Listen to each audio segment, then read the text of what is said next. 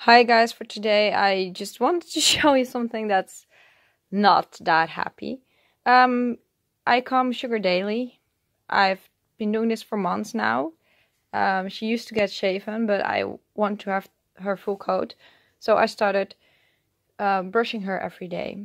So last week she went to the groomer and I, after she went to the groomer, I started combing her daily like usual. And within three days, there were all these mats everywhere in the coat and it's really hard to cut them out.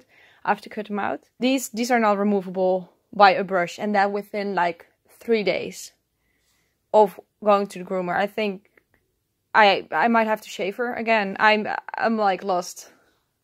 Um, at work, worse like she hasn't had it this worse in like months